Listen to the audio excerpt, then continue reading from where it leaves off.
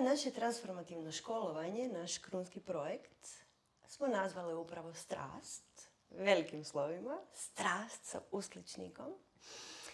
I to je školovanje doista sustavno, sistematično, sadrži puno praksi i puno, puno praktičnih savjeta i ideja kako doista naći sebe, kako doista živjeti sretan život i kako učiniti ovaj svijet sretnijim mjestom.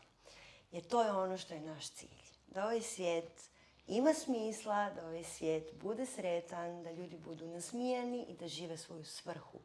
Jer kao što je Ines rekla, svi smo ovdje došli sa svojim darovima i jedino što trebamo je otkopati ih ispod svega što nam je nametnuto, ispod normi, ispod odgoja, ispod putokaza i doista pronaći što je to što nas čini sretnima i na koji način da naš život bude doista sočan, doista vatromet.